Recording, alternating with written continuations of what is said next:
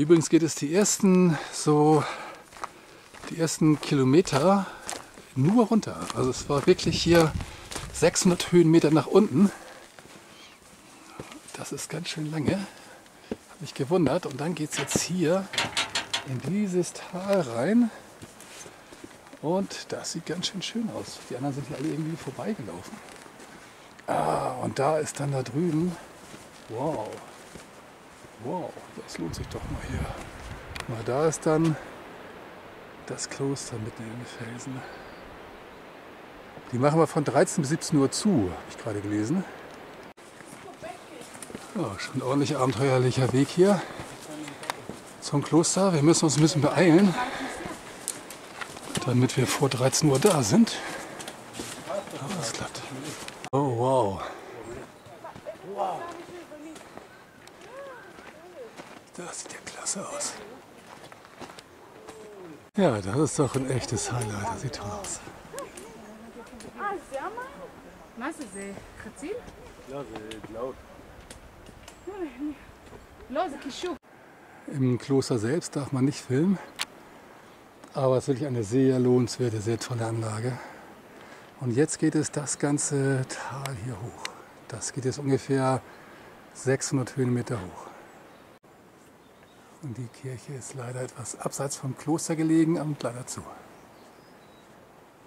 Sehr schön. Hier kann man bis unten runterkrabbeln.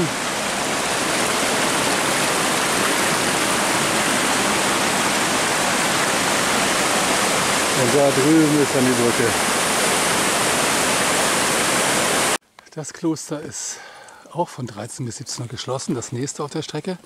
Da ist dann aber eine Umleitung ausgeschildert, weil da müssen wir ansonsten nämlich durchgehen eigentlich. Hier kommt das Wasser überall aus dem Berg raus. Wahnsinn.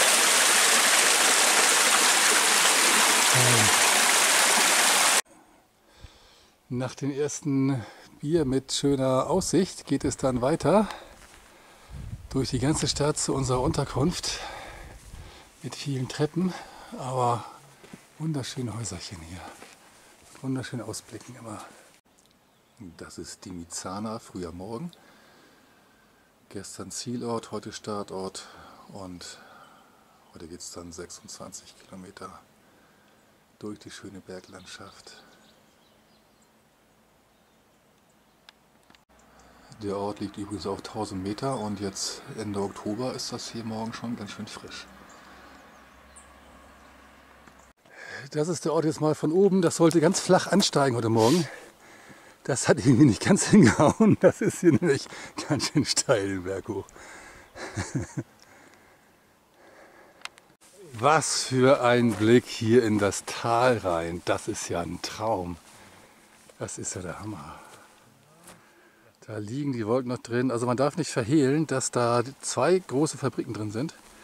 Das eine ist ein Kohlekraftwerk, wohl einigermaßen stillgelegt, aber ganz sicher weiß das keiner, ob die gar nicht mehr da sind. Und rechts eine Chemiefabrik. Das hat mich gestern da sehr doll gestunken. Aber das sieht natürlich unglaublich aus hier. Also während wir hier KI und Influencer diskutieren, gehen wir gerade durch ein wunderschönes Tal. Das muss man zwischendurch mal würdigen hier. Das ist sehr, sehr schick. Also zum Gedenken an einen Unabhängigkeitskrieg gegen die Türken. Ja. Okay. Und das-.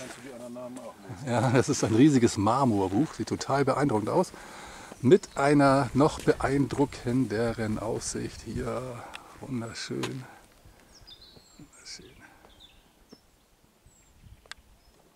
Dieser wunderschönen Kapelle hier geht es jetzt rechts rum und dann geht es steilen Berg hoch bis auf 1500 Meter. Und der Weg führt in ein wunderschönes Tal hinein. Also gesehen habe ich hier noch keine Schildkröte, aber hier ist ein ganz alter Schildkrötenpanzer, der hier auf der, direkt auf dem Weg liegt. Mal ein wunderschöner Blick hier runter in so ein Tal. Herrlich. Ich komme aus dem Schwärm gar nicht wieder raus. Das ist so ein schöner Weg hier. Jetzt führt er gerade schön durch einen Wald. und ist gut markiert. Also im Wesentlichen ist er durchgängig echt super markiert.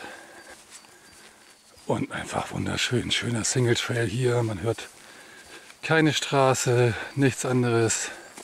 Und jetzt Ende Oktober ist hier quasi nichts los. Also wir haben heute zwei, ein Pärchen haben wir getroffen, zwei Menschen. Und ansonsten bisher niemanden. Ach, echt herrlich. So, wir sind hier bei 1550 Meter und damit an der höchsten Stelle des heutigen Tages. Ist eine unspektakuläre Stelle, also keine Aussichtsstelle oder irgend sowas. Hier kommt eine krause Glucke aus dem Boden rausgekrabbelt. Andere Pilze habe ich auch schon gesehen, aber die hier ist ungewöhnlich an dieser Stelle. Wir laufen hier ein ganz bezauberndes Flusstälchen herunter. Ganz klares, schönes, kaltes Wasser. Der GPS-Trail, der ist hier ein bisschen unscharf gewesen. Müssen wir ein bisschen noch ein bisschen mit suchen, aber haben es gefunden und jetzt gehen wir diesen herrlichen Bach hinunter. Hier kommen wir an einer alten Mühle vorbei, der Zelepi-Mühle.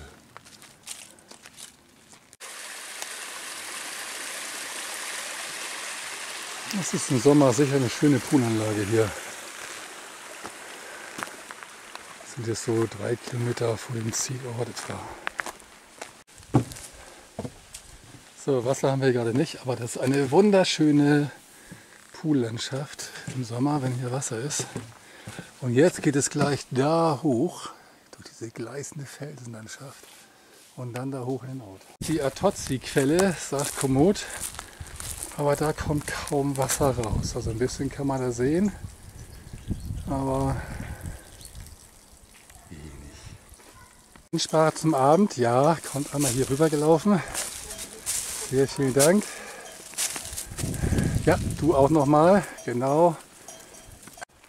Was für ein schöner Blick hier. Und da hinten, dieses helle Gebäude, das wird unser Hotel sein.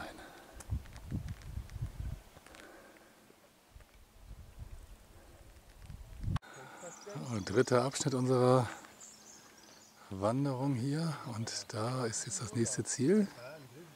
Ganz toller Aussichtspunkt. So, sehr beeindruckende Brücke hier.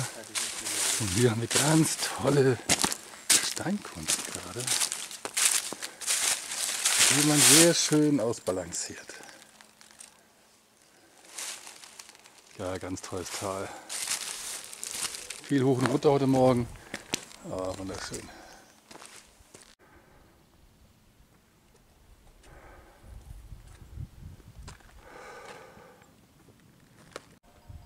Nymphasia ist das nächste Örtchen. Und im Hintergrund gibt es Großes zu sehen.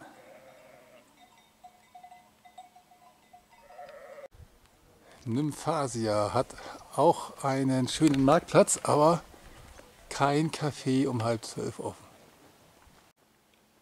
So, ein schickes Kloster hier am Ende des Weges.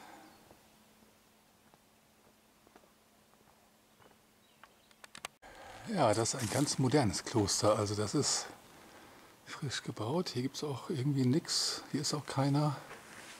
Nichts zu besichtigen. Aber sieht schön aus.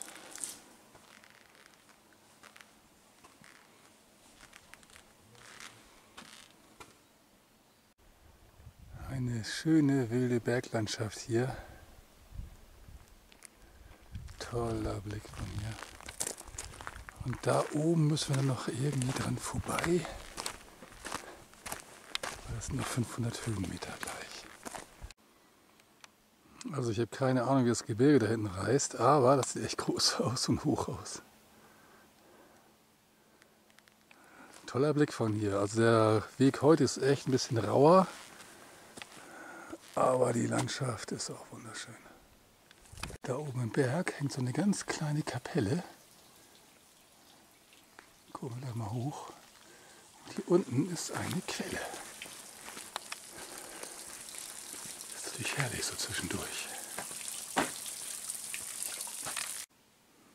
Also sie- sieht schon sehr besonders aus hier oben die Kapelle, aber rein kommt man nicht. Das ist Mar Guliana und äh, das wird unser letzter Ort sein. Von hier aus fahren wir mit dem Taxi zum Startort zurück. Auf diesem Weg wären noch 20 Kilometer mehr zu gehen, aber die Zeit haben wir leider nicht. Der Weg hat mich wirklich völlig überzeugt. Sehr schön angelegte Wege und äh, abwechslungsreiche Aussichten. Und tatsächlich haben wir gestern zwei Wanderer gesehen und heute haben wir keinen einzigen gesehen bisher. Das finde ich schon echt schräg. Aber ist natürlich schön, ne? so fühlt man sich natürlich wohl beim Wandern.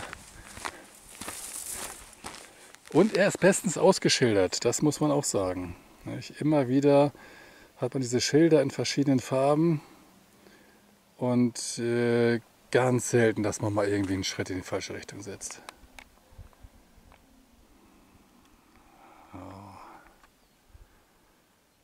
Ja, sehr schön. Mal sehen, wie die Rückfahrt jetzt wird.